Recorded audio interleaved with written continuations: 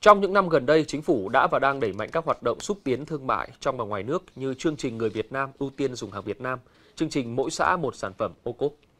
Những hoạt động đó đã đạt được nhiều thành quả thúc đẩy phát triển kinh tế xã hội, giúp các doanh nghiệp Việt Nam tăng trưởng và bứt phá. Góp phần thúc đẩy và quảng bá lợi thế kinh tế xã hội và du lịch của các địa phương. Hành trình ô cốp là chương trình game show thực tế hướng tới các giá trị nhân văn, phát triển kết nối các sản phẩm nông nghiệp nông thôn tiêu biểu. Và dự kiến số đầu tiên sẽ phát sóng trên kênh VTC14 vào ngày 16 tháng 6 tới đây. Lần đầu tiên, một game show truyền hình với sự tham gia của các doanh nghiệp, hợp tác xã có sản phẩm ô cốp trong cả nước sẽ mang đến những câu chuyện khởi nghiệp, chia sẻ kinh nghiệm bổ ích để phát triển các sản phẩm đặc sản vùng miền. Hành trình ô cốp, một chương trình vui nhộn, hài hước nhưng đầy cảm xúc. Chương trình Hành trình ô cốp là kênh tuyên truyền đường lối, chủ trương và chính sách của Đảng, Nhà nước và Chính phủ Việt Nam trong lĩnh vực kinh tế nói chung, nông nghiệp nói riêng giúp mang các sản phẩm nông sản Việt tới gần hơn với người tiêu dùng. Chương trình được thực hiện bởi kênh VTC14, Thái Bình Cốp, Biscare, TikTok Việt Nam. Dự kiến phát sóng bắt đầu từ tháng 6 năm 2024 vào lúc 11 giờ Chủ nhật hàng tuần trên kênh VTC14, Đài truyền hình kỹ thuật số VTC. Ở góc độ là ban tổ chức ấy, thì chúng tôi muốn đây là một cái chương trình mà thực sự có chất lượng. Chứ là, là mình làm một cái kênh truyền thông để làm sao giúp các cái hợp tác xã, các cái doanh nghiệp mà có sản phẩm ô cốp có thể lan tỏa được và có thể đến với người tiêu dùng một cách là nhanh nhất và mạnh nhất. Mỗi một cái chương trình thì đều có một cái điểm nhấn. Tuy nhiên là hành trình ô cốp ấy thì có một cái sự khác biệt đó là chúng tôi kết nối ở đây ấy, là kết nối ờ, đa chiều. Ví dụ như là kết nối là với lại các cơ quan nhà nước này thì có sự đại diện của các cơ quan bộ ban ngành. Cái thứ hai đó là kết nối với các chuyên gia. Đó, ví dụ như là cộng đồng khởi nghiệp. Cái thứ ba là chúng tôi làm kết nối ờ, cái việc cung cầu. Ví dụ như là chúng ta có thể tiếp cận được những cái nền tảng mà chúng ta bán hàng được. Khi tham gia hành trình ô cốp, các đội chơi sẽ được trao dồi thêm nhiều kỹ năng thuyết trình, chốt sale, bán hàng online, xử lý tình huống trong sản xuất và kinh doanh. Đồng thời có cơ hội giao lưu, kết nối với các chuỗi tiêu thụ sản phẩm lớn ở Việt Nam. Được tham dự chương trình này mình rất là vui vì à, được tham dự một cái sân chơi lớn dành cho các à, hợp tác xã Ờ, các doanh nghiệp uh, làm sản, sản xuất các sản phẩm nông nghiệp mà um, đạt các tiêu chí ô cốp rất là mong muốn rằng là hợp tác xã của mình sẽ lan tỏa được uh, văn hóa của cộng đồng dân tộc sán chay là lan tỏa được uh, các cái sản phẩm uh, từ sinh kế bản địa của người đồng bào dân tộc mình. Chúng tôi cũng mong muốn ờ, ờ, lan tỏa các cái sản phẩm rau củ quả của hợp tác xã tới tay người tiêu dùng để người tiêu dùng có thể biết đến ờ, các cái sản phẩm của hợp tác xã. Đây không chỉ là những cái sản phẩm mà tươi ngon mà nó là cái sản phẩm minh chứng cho những cái việc áp dụng các cái tiến bộ khoa học kỹ thuật vào trong sản xuất nông nghiệp. Không chỉ vậy, các đơn vị còn được học hỏi về quản trị doanh nghiệp, tiếp cận hệ thống bán hàng online bởi các chuyên gia hàng đầu góp mặt trong chương trình và các KOL, người nổi tiếng trên toàn quốc.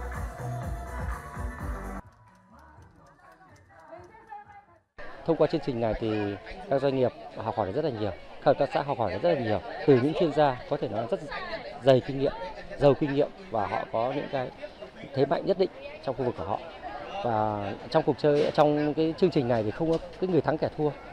Tất cả mọi người đều là thắng. Và cái thắng ở đây thắng lớn nhất đó là chính là được các uh, thành viên hội đồng ban giám khảo đồng hành cùng để cùng với doanh nghiệp mình làm sao mà lấp vào những cái chỗ mà chúng ta đang còn thiếu những cái khu vực mà chúng ta đang chưa được đủ mạnh. Và tôi nghĩ một cái một cái lớn hơn nữa đó là bản thân chương trình này nó là một cái một cái một cái hệ một cái mạng lưới giúp cho các doanh nghiệp có thể là trở thành những cái bạn hàng của nhau, trở thành những đối tác của nhau. Hành trình ô cốp, chung tay đưa nền nông nghiệp Việt Nam cất cánh. Những ngày qua, trên các trang mạng xã hội bất ngờ xuất hiện nhiều người giao bán tôm hùm đất sống với số lượng lớn.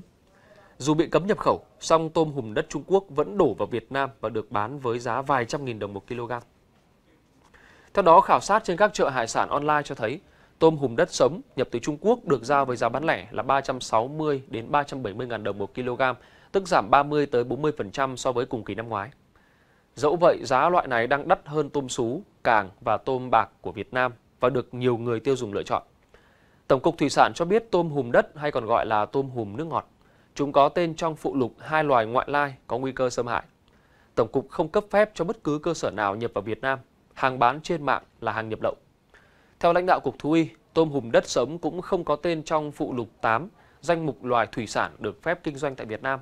Do đó, cơ quan này hiện chưa nhận được yêu cầu kiểm định nào đối với hàng nhập khẩu sống vào Việt Nam. Thời gian gần đây, dịch tả lợn châu Phi đang bùng phát mạnh trên địa bàn tỉnh Quảng Ninh. Hiện đã có hơn 1.000 con lợn mắc bệnh, bị chết và tiêu hủy. Bệnh dịch tả lợn châu Phi lây lan nhanh và xảy ra tại mọi loài lợn, mọi lứa tuổi của lợn với tỷ lệ chết gần như 100% lợn nhiễm bệnh, khiến nhiều hộ chăn nuôi lao đao. Mời quý vị đến với ghi nhận của VTC. Nhìn chuồng lợn trống trơn, khuôn mặt bà Phạm Thị Vu, Quảng Yên, Quảng Ninh nặng trĩu nỗi buồn. Mấy chục năm chăn nuôi, nhưng đây là lần đầu tiên lợn nhà bà Vu nuôi bị ốm, bệnh hàng loạt. Bà cho biết, mọi khi rất cẩn thận trong phòng chống dịch, hàng tuần đều sát khuẩn chuồng trại. Không thể nào mà tưởng tượng được mà nói bây giờ là ruột gan như xé. Bây giờ có bao nhiêu công sức là bỏ ra là hết vào đây. Nhưng bây giờ xong trận này thì không biết đến bao giờ chúng tôi mới hoàn lại được. Cùng chung cảnh ngộ với bà Phạm Thị Vu, gia đình ông Bùi Văn Sĩ bị tiêu hủy mất 13 con lợn thịt, 21 con lợn con, 5 con lợn nái chửa, với tổng thiệt hại gần 300 triệu đồng. Dịch bệnh khiến gia đình ông lao đao bởi đây là nguồn thu nhập chính của gia đình. Mất trắng đàn lợn thì nó cũng là cái nguồn thu nhập, mà chính về kinh tế của gia đình chúng tôi, nên là sau khi mất trắng về đàn lợn thì nó cũng, gia đình cũng mất một khoản thu nhập rất là lớn vì vậy là ừ, xong cái đợt dịch này thì tôi cũng ờ, mong nhà nước có cái chính sách hỗ trợ, gọi là giúp đỡ bà con ờ, một phần nào đó để ờ, một vài tháng nó hết dịch bệnh thì để bà con tái lại đàn. Theo thông tin Sở Nông nghiệp và Phát triển Nông thôn tỉnh Quảng Ninh, dịch tả lợn châu Phi đã xảy ra tại 6 địa phương thuộc tỉnh Quảng Ninh. Tổng số lợn chết và tiêu hủy là 1.132 con, gây thiệt hại hơn 3,5 tỷ đồng. Khi kiểm tra thực địa thì chúng tôi thấy rằng là bệnh dịch tả lợn châu Phi này xuất phát hiện xuất hiện ở những cái thường xuất hiện ở những cái hộ chăn nuôi nhỏ lẻ ờ, mà chuồng trại vệ sinh kém và không kiểm soát được các cái ờ, cái cái ờ, mối nguy cơ lây nhiễm mầm bệnh. Bước đầu, các sở ban ngành địa phương, cơ quan đơn vị liên quan và các tổ chức hộ gia đình, cá nhân chăn nuôi lợn phải xác định công tác phòng chống bệnh dịch tả lợn châu Phi là nhiệm vụ cấp bách, quan trọng.